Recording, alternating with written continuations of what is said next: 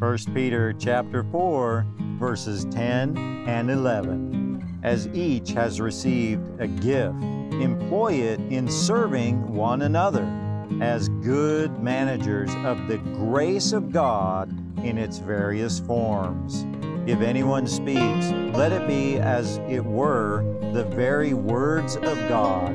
If anyone serves, let it be as the strength which God supplies, that in all things God may be glorified through Jesus Christ, to whom belong the glory and the dominion forever and ever. Amen. The Holy Spirit has given each believer spiritual gifts, talents, and abilities.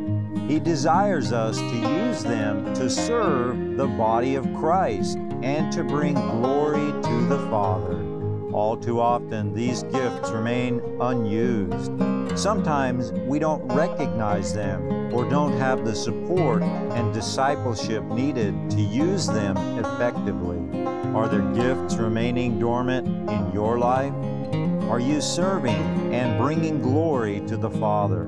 Keep pressing forward and asking for wisdom, opportunities, and a mentor who will invest in your spiritual development. Holy Spirit, reveal the gifts, talents, and abilities you have empowered us with. Open doors of opportunity and connect us with mature leaders who can help us develop and use what you have given to us.